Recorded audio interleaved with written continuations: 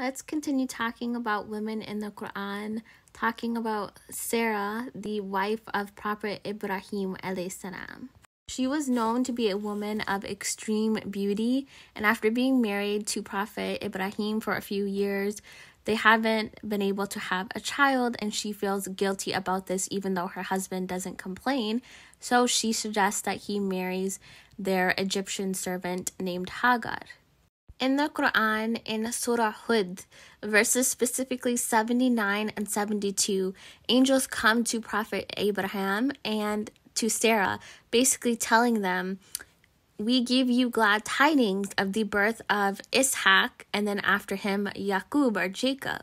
At this point in time, Hagar has already given birth to Prophet Ismail. So she basically is like, Oh my, how can I have a child in this old age? And my husband here is an old man. This is truly an astonishing thing. This is verse 72. Verse 73, the angels respond and say, Are you astonished by Allah's decree? May Allah's mercy and blessings be upon you. O people of this house, indeed He is praiseworthy, all glorious. Reading from this book, Women in the Quran, it says, God gifted Sarah the much wanted child that she despaired of having one day, and through this child granted her the permanence of her name through a long and noble lineage made up of prophets and messengers.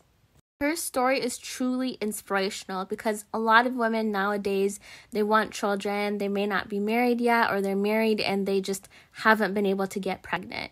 And this story is truly an example of the mercy and the blessings, the provision that Allah will give us. We just have to be patient for it and know that maybe it's not going to happen in this life, but it will happen in the next. And Allah can make a person pregnant no matter how old they are because He says be and it is.